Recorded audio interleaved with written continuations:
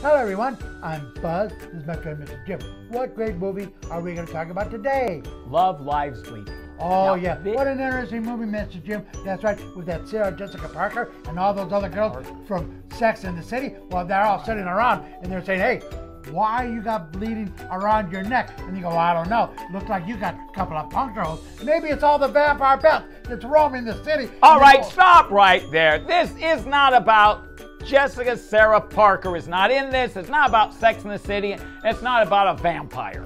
Oh, Mr. Jim, you're so totally wrong. And it turns out when they realize, hey, when these vampires suck all their blood, Right. it makes it sure that we don't gain any weight. What a great weight reducing plan.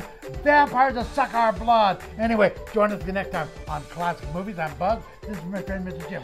Say goodbye, Mr. Jim. Goodbye, Mr. Jim. So this is the new weight loss plan. You just call Dracula and he takes care of you. Got nothing to do with racket. I just said bats.